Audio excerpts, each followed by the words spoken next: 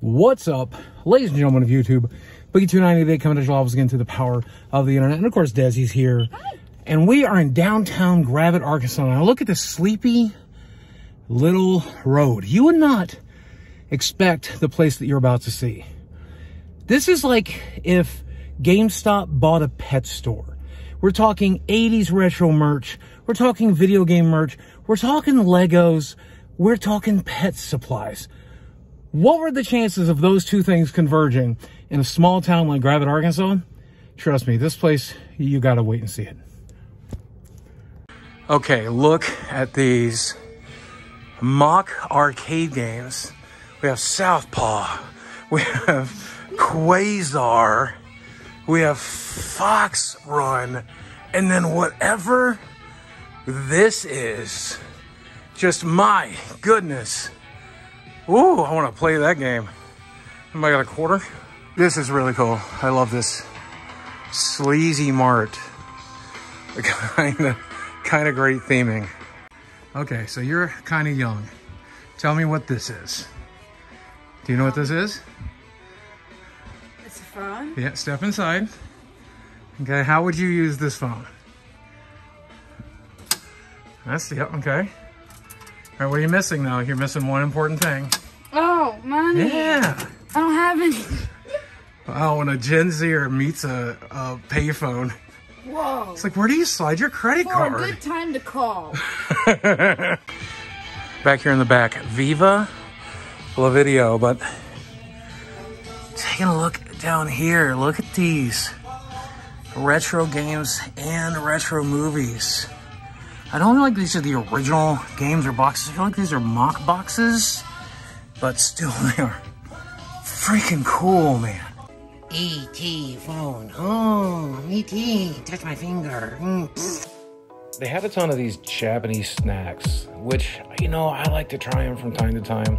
I especially like the really weird chip flavors, but there weren't any really weird chip flavors this time. Also, they make those really weird Kit Kat flavors, but the ones they had here, green tea, all relatively normal stuff. So I wasn't too blown away. None of the stuff was that different from what you get from other places, but it is just nice to see them a little bit of Halloween stuff, but they had a tremendous amount of Lego stuff, which is not what you expect at a pet store. This place, as it's called, is Pet Pop, and it was originally a pet store. Uh, and you see the pet supplies here and there all over the place, but this tremendous amount of Legos was very surprising to me. But I mean, Legos are popular, and it's nice to have a, a, a place to get them. I was surprised to see the Avatar ones here, but I guess they sell well when the Avatar movies come out. We have a new one coming out eventually. Here's a ton of 80s memorabilia and toys. And of course, Gremlins has to be here. I loved the Gremlin toys.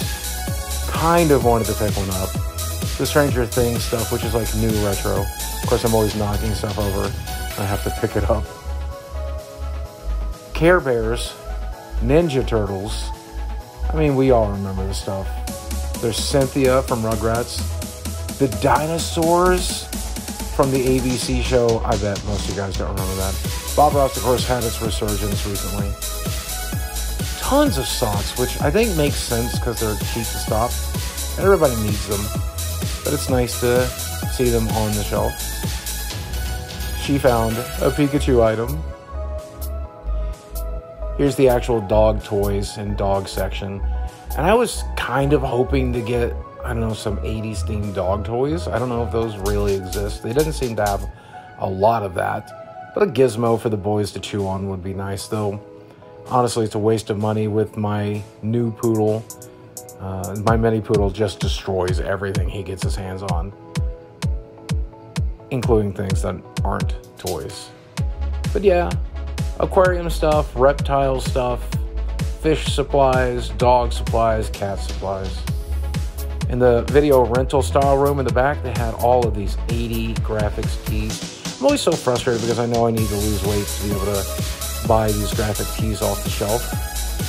Uh, though you can find them in my size on Amazon these days. But just an amazing collection. Oh, and an actual jigsaw figure to go with the 80s horror section.